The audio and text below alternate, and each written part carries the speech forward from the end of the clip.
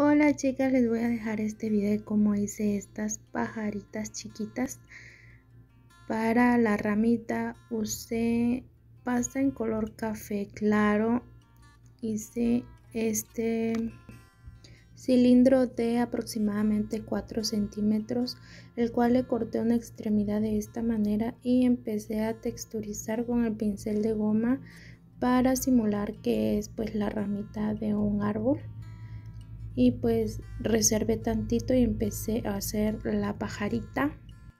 Para su cabecita usé la cucharita de 2.5 ml e hice esta forma. También para su cuerpecito usé la misma medida y pues de esta manera le hice el cuerpecito. Ahora pues voy a unir con un alambre galvanizado y usando pegamento de esta manera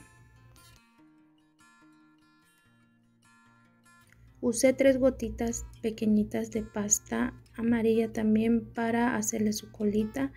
Hice lo siguiente, las fui uniendo y una vez pegadas las tres con el pincel de goma también presioné tantito a modo que parezca pues una alita y ahí le hice un orificio para que embone la colita y para su alita hice esta ruedita la cual le fui dando esta forma de alita reservé tantito. Aquí únicamente pegué pues el piquito y los ojitos pero no sé por qué no se grabó.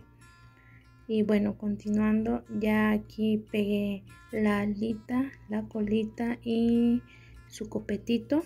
Y de una vez pegué a la ramita. Ahora empecé a matizar con sombra naranjita del cuarteto de bisú chicas. Y aquí pues maticé con este iluminador. Únicamente poquito poquito en la ramita también. Le saqué tres pestañitas bien pequeñitas. Ahora le coloqué un moñito de molde también le vamos a colocar una hojita y una florecita la cual también vamos a matizar con colorcito rosa igual su moño y también lleva su iluminador. Y así me quedó esta pajarita bebé ojalá y te guste y si es así ayúdame a compartir. Bye chicas